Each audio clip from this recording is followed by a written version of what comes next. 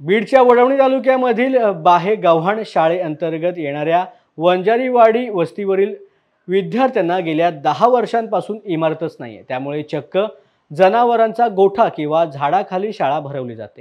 याआधी वस्तीमधील ग्रामस्थांनी लोकवर्गणीमधून शाळेसाठी पत्र्याच्या शेडची उभारणी केली होती. मात्र वादळी वाऱ्यामध्ये ते देखील उडून गेलं. त्यामुळे विद्यार्थ्यांना अनेक समस्यांना सामोरं जावं लागतंय. त्यामुळे पालकांमध्ये देखील तीव्र नाराजी असल्यामुळे शाळेसाठी निदान एक तरी खोली असावी आणि त्यासाठी निधी देऊन तातडीने बांधकाम करावे आणि विद्यार्थ्यांच्या पायाभूत शिक्षणाचा प्रश्न सोडवावा अशी मागणी सामाजिक कार्यकर्ते डॉक्टर गणेश ढेवळे लिंबा गणेशकर यांनी केलेला आहे. या संदर्भात प्रशासकीय अधिकाऱ्यांकडे देखील त्यांनी लेखी निवेदन दिलं आहे.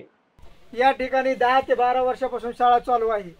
आम्ही इमारतीची सतत मागणी केली पण शाळाला अद्याप काही इमारत भेटलेली नाही. आम्ही लोकवर्गणीतून या ठिकाणी शेड मारलं होतं पण ते वाऱ्यामुळं पावसामुळे ते शेड उडून गेलं. आता या ठिकाणची सद्य परिस्थिती अशी आहे की लेकरं या झाडाखाली बसून शिकत आहेत. पण पाऊस आल्यानंतर अक्षरशः लेकराली जनावरांच्या गोट्यात आम्हाला जनावर बाहेर काढून त्या लेकराला शिकण्यासाठी तिथे जागा द्यावी लागती आणि जनावरांच्या गोट्यात ते लेकरं आता सध्या शाळा शिकत आहे या ठिकाणची इतकी बिकट परिस्थिती या वंजारवाडी वस्तीवर झालेली आहे.